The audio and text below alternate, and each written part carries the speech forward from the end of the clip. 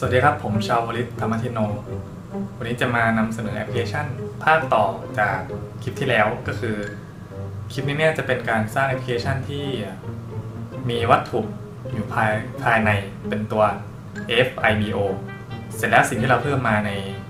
เวอร์ชันนี้ก็คือ เพิ่มรูปที่เป็นรูปถ่ายจริงที่อยู่ภายใน FIBO ก็คือ ผมก็ได้เลือกมา 3 รูปคือเป็นรูปของป้ายผู้บริหารของ Fibo แล้วก็ป้ายของ mini project ของกลุ่มผมเองที่ได้ทำขึ้นในช่วง freshmen แล้วก็เป็นป้ายต้อนรับของ Fibo นะครับ ก็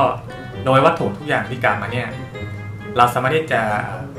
มันสามารถที่จะตอบสนองกับมือของเราที่จับเอ่อ HTC Vive Controller ได้ก็คือ เราสามารถที่จะยื่นมือไปแล้วก็ไปจับแต่วัตถุชิ้นนั้น เสร็จแล้วเราสามารถที่จะหยิบมันขึ้นมาแล้วก็ เคลื่อนที่ไปในตำแหน่งต่างๆ หรือแม้กระทั่งในการหมุน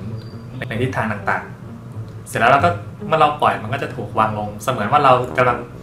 จับวัตถุจริง ๆ ที่อยู่ในโลกเสมือนที่เราสร้างขึ้นมานะครับ ก็เห็นได้ว่าวัตถุต่างๆเนี่ยเมื่อเมื่อเราเอ่อเมื่อคอนโทรลเลอร์ ADC by controller เนี่ยไปสัมผัส มันก็จะมีการสั่นเพื่อตอบสนองกลับมาเพื่อให้รู้ว่า ตอนเนี้ยมือเราที่อยู่ใน virtual world เนี่ย มันไปสัมผัสโดนกับวัตถุต่างๆอะไร